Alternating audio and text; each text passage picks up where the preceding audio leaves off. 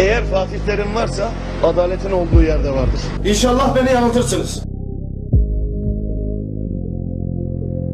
Kendinize gelin buradan sahaya kadar. Tam bir buçuk gündür size seslenmiyorum. Hala burada aynısınız. Eğer Fatih Terim varsa adaletin olduğu yerde vardır. Herkes dikkatli olsun. Göreyim benim takımımı. Allah yardımcınız olsun. Yine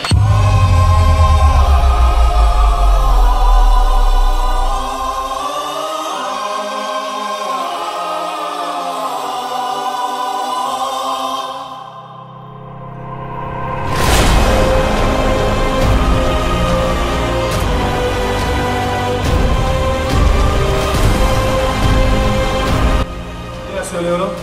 Kazanacaksınız. Kazanmak için uğraşacaksınız.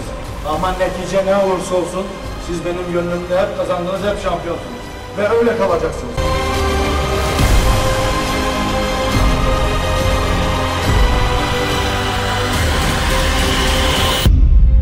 Ben de geç anlaşılacağım galiba. Eskiden daha fazla hırslıyım şu anda. Eskisinden daha fazla. Şimdi bir lafımda bazı taşeronlara geçen sefer benim ceza almam için 21 maça kadar çıkanlar vardı ya.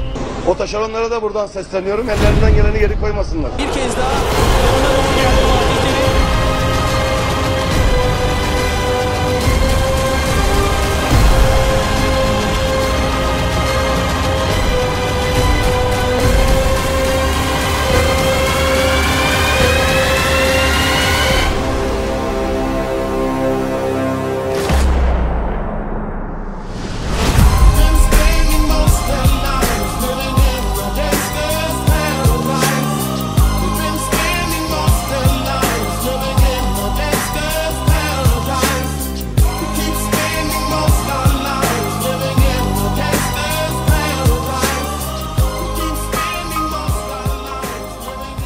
Yanındaki komşun açsa sen de tok duramazsın diyen bir dinden gelen bizler bütün devamlı öldürmeye başladık ya böyle bir şey olur mu ya?